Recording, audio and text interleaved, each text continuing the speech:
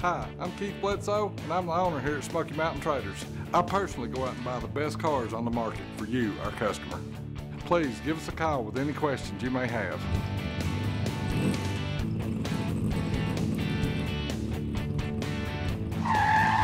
Hi everybody, welcome back to Smoky Mountain Traders. This is Shelby. Today we're going to be checking out this 1972 Oldsmobile Cutlass.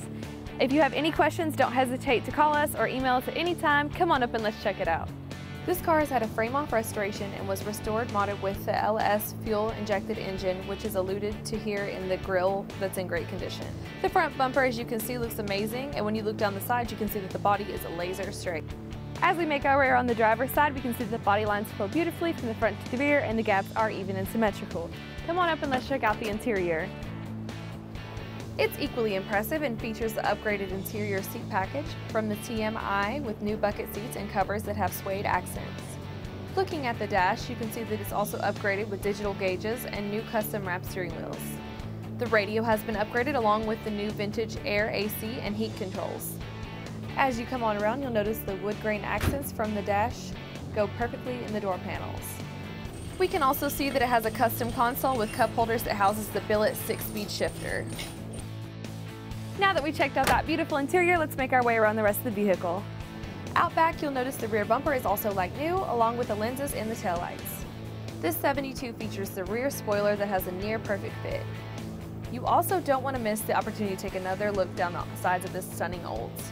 As we make our way around the passenger side, I'm going to take a step back so you can check out the stance on this Cutlass. The body is covered in the ebony black paint that has countless hours spent cutting, buffing, and polishing to a mirror finish that looks about 10 feet deep. It's accented by the black vinyl top that was installed new at the time of restoration. Also, it has the W30 styled hood with the white stripes that really brings the Cutlass to life. To finish off the look, it's sitting in a custom set of 18-inch Budnik wheels on the corners that show off the Baer four-wheel disc brakes. Now that we've checked out the exterior, come on up and let's look under the hood of this Oldsmobile. As you can see, nothing has a factory feel under here as it's powered by the LS1 intake that's set up with the Fast 92 millimeter intake and has a custom set of coil pack covers. Along with having AC, it also has power steering and power brakes with the new Wilwood master cylinder. When you look under this Cutlass, you'll notice that all of the floors look original with the exception of the driver front, and that was properly fixed at the time of restoration when the new body bushings were installed. The LS1 engine is mated to the Tremec 6-speed trans that goes out back to the 12-bolt posi rear end with the 3.92 gears.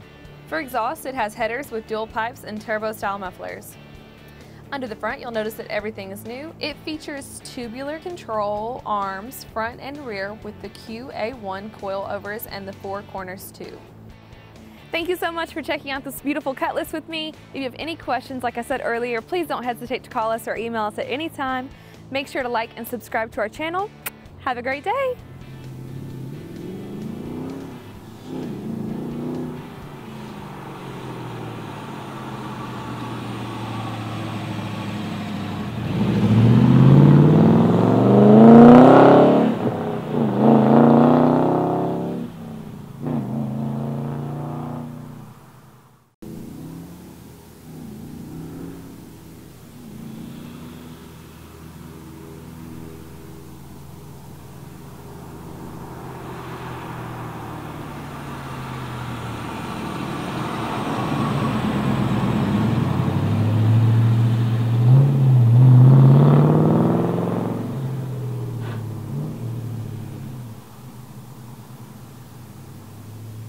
Thanks for visiting us at SmokyMountainTraders.com. If you're ever in East Tennessee, stop by and check us out.